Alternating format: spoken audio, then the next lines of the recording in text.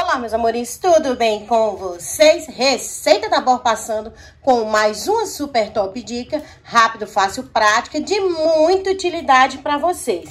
Vamos embora a nossa diquinha de hoje? Para tá dando início em nossa receitinha de economia, eu tenho aqui, ó, essa pedra perfumada, tá, meus amores, que combate odores aí. Essa é aquela pedrinha que a gente coloca lá no vaso sanitário, tá? Ela vem assim, aí vem com essa redinha, mas hoje a gente não vai estar tá utilizando isso aqui não, somente a pedrinha, tá? Essa aqui, ela é de pinho, fragrância de pinho. Você pode é, utilizar a sua pedra sanitária perfumada que você tiver na sua casa, tá? E a fragrância que você mais gostar. Vou adicionar ela aqui nessa bacia. Eu vou colocar um litro de água, tá? Essa água aqui é uma água que tá fervente, tá, gente? Nós vamos dissolver aqui, ó, a nossa pedra sanitária, tá? Aí você vai fazendo assim, ó, colocando aos poucos a água bem quente, tá?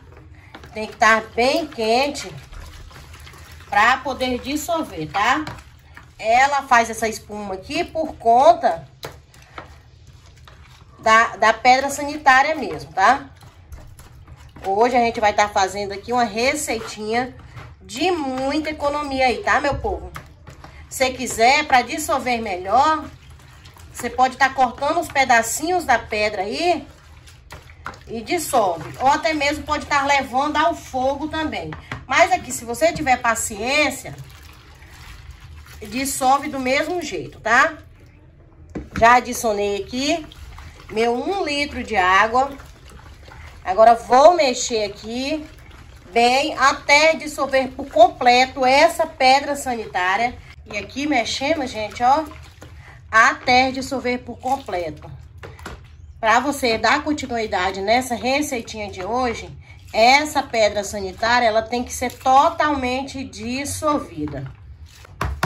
Nós vamos agora para o nosso próximo ingrediente, que é o vinagre, tá? Tô utilizando aqui vinagre de álcool. Mas você pode colocar aí o vinagre que você tiver na sua casa. Vinagre vai entrar aqui para potencializar essa receita.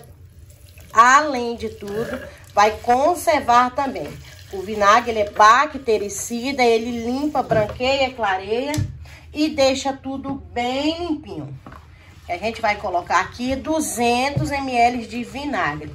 Colocou um novo ingrediente, dá uma nova mexidinha, tá, meus amores? Já gosta dessas dicasinhas aí de economia? Quero te convidar a vir fazer parte da nossa família, que está crescendo a cada dia, tá? Deixe também teu nome aí e a cidade da onde você está vendo esse vídeo. Eu sou a Mônica aqui do Receitas da Bom. Nessa vasilha aqui eu tenho 3 litros de água em temperatura ambiente, que eu peguei ali da torneira mesmo, tá? A única água quente que a gente vai utilizar vai ser a água que foi para dissolver a pedra sanitária.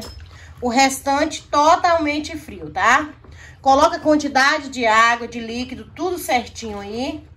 Pra sua receita poder dar super certo igualmente a minha. Vou juntar aqui duas colheres de sal. Sal de cozinha comum que você tem na sua casa. A colher que eu utilizei, colher de sopa. Pra você não se perder aí, tá, meus amores? Aí você dá novamente uma mexidinha até que o sal dissolva completamente aqui do fundo. Toda essa espuma que tem aqui, ela vai ceder depois. É por conta que a gente tá mexendo, tá?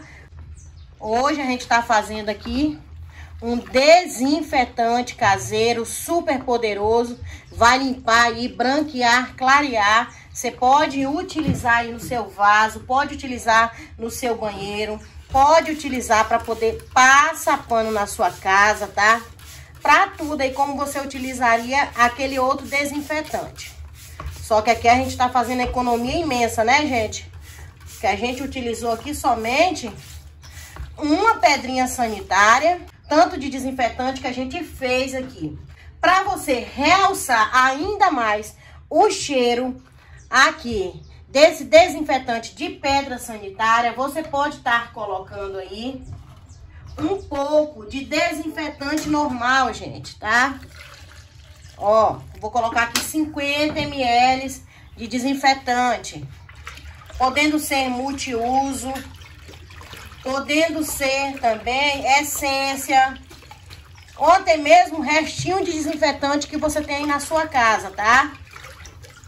Agora tá super potente e mega cheiroso, tá, meus amores? Pode partir pra limpeza e limpar a sua casa. Deixar tudo bem limpinho, com cheirinho, tá? Maravilhoso, meus amores. Vou adicionar aqui um ingrediente que é totalmente opcional. Não tem, não tem problema, gente. Deixa sem umas gotinhas de corante, tá? Só pra não ficar nesse tonzinho bem clarinho. Pode ser corante próprio para produto de limpeza ou podendo ser corante comestível, que é aquele que as pessoas colocam em bolo, chantilly. Não te preocupes que não mancha, tá? Não é muita quantidade de água para pouco corante aí, tá, meus amores? O meu corante eu costumo comprar pela internet, mas você acha ele também em casas de produtos de limpeza. Vou mostrar a vocês aqui, gente, como ficou o nosso desinfetante caseiro que a gente acabou de fazer com a nossa pedra sanitária. Olha que lindo, mega cheiroso. Queria, ver, queria que vocês pudessem sentir o cheiro desse desinfetante, tá, gente? Muito bom, super econômico, rápido e fácil de fazer. Vou embalar aí pra gente ver o tanto que ele nos rendeu. Tô com essas garrafas PETs aqui, ó, bem limpinha, tá? Pra não estragar nem talhar o seu produto. E eu vou estar tá passando o nosso desinfetante que a gente acabou de fazer para essas garrafas, tá? Olha, gente, que desinfetante maravilhoso.